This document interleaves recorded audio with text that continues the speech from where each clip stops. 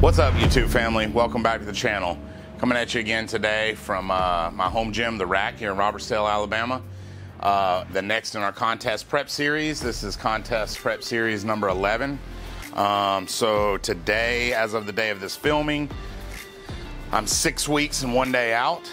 Uh, so I went to straight shakes this last week. Um, now I say straight shakes, shakes and bars, few handfuls of pretzels and a couple rice cakes.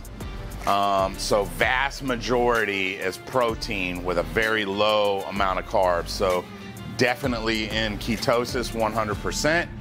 Um, and then less for my body to process and all of that. So, uh, and a little bit higher protein levels. Kept the calories about the same, dropped another pound this week, pulled an extra notch in my weight belt. So that's something I'm phenomenally happy about. When I started prep, uh, I was in the first hole in this weight belt. I've moved all the way down to hole number five. That's four full notches I've moved in this weight belt.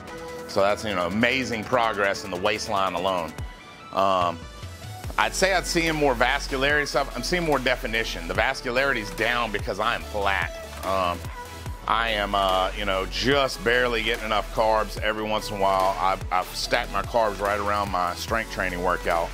So at the very beginning, I might get a light pump, but after that, you know, really uh, not a whole lot as far as pump goes. Um, definitely energy's down, mental clarity's down a bit. Um, but overall, I mean, these things are to be expected, and I feel good overall. My strength's still good. Um, my body's still recovering overall pretty much.